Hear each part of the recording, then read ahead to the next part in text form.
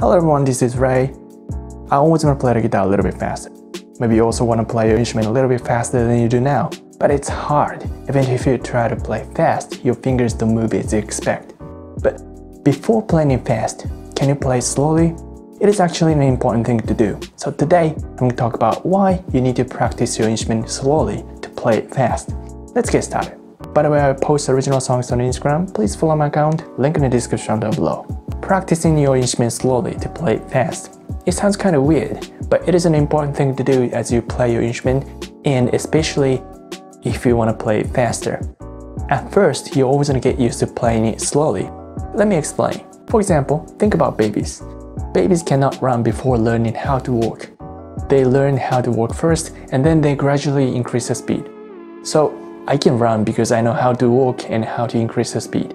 So as playing an instrument, we won't know how to play it fast before getting used to playing it slowly. But once you know it, you can increase the speed. And if you practice your instrument slowly, you'll be able to understand what you actually need to play.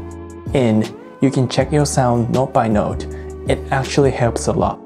Now, I'm not a neuroscientist or whatsoever, but negative feeling could affect your brain. For example, Playing a fast phrase is pretty difficult, and if you keep feeling repeatedly that you can't play that phrase, your brain annoyingly starts thinking that you're never going to be good enough to play that phrase. That negative feeling is what we want to eliminate. That feeling could be the reason to give up on playing your instrument. So we want something positive. We want to do something that we can actually do.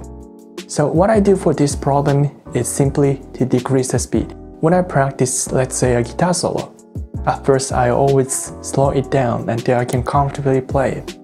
Sometimes I need to slow it down until I feel like it's stupidly slow, but this process really helps me to understand the phrase itself and where to play.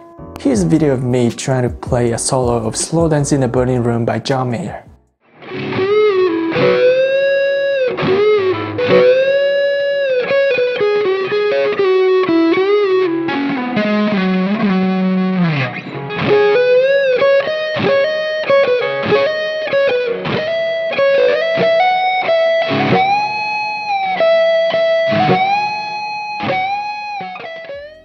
As you can see, I started from very slow tempo and I've increased the speed several times and now I can play with the original speed.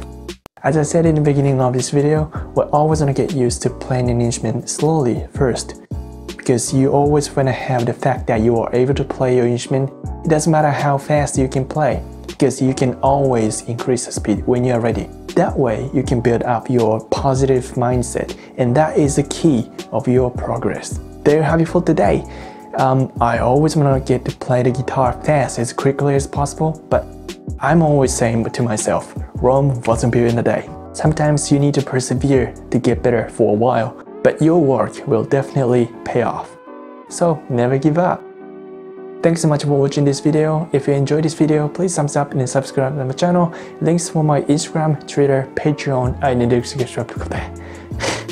It's hard, description description is really difficult. difficult. Anyway, yeah, thanks so much for your support. See you in the next video.